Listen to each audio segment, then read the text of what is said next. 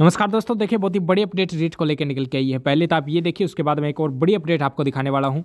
ये जो मतलब रीट के अभ्यर्थी हैं, ये कल मुख्यमंत्री से मिले, शिक्षा मंत्री से मिले और इन्होंने जो मतलब जो सीएम साहब ने जो बताया, वो मैं आपको बता देता हूँ कि इन्होंने ये बोला कि भी आपकी जो बात है उसके ऊपर हम सोचेंगे। ठीक है रीट के पदों के लेके जब इन्होंने इनसे बात की थी। अच्छा इसके अलावा जो आज एक इनकी साढ़े ग्यारह बजे मीटिंग होने वाली है कांग्रेस मंत्रिमंडल की, ठीक है, उसमें आपके रीट के पदों को लेकर चर्चा की जा सकती है।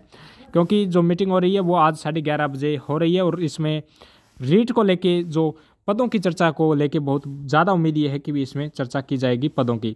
अच्छा इसके अलावा यहाँ पे एक और बड़ी अपडेट ये निकल के आई है। सभी साथियों से निवेदन है कि अब ज़्यादा से ज़्यादा संख्या में शहीद स्मारक पर पहुँचना आपको सीएम से वार्ता के बाद आसार नज़र आ रहे हैं कि पद है, बढ़ेंगे लेकिन कितने बढ़ेंगे हमारी संख्या पर निर्भर करता है। तो आप सभी को पता होना चाहिए कि सोलह दिसंबर को सभी से निवेदन है कि 16 दिसंबर को रेट का महापड़ाव रखा गया है। कृपया करके ज़्यादा से ज़्यादा संख्या में पधारें और शांतिपूर्ण तरीके से आंदोलन करें और इसका सकारात्मक परिणाम आपको 17 दिसंबर को देखने को मिलेगा।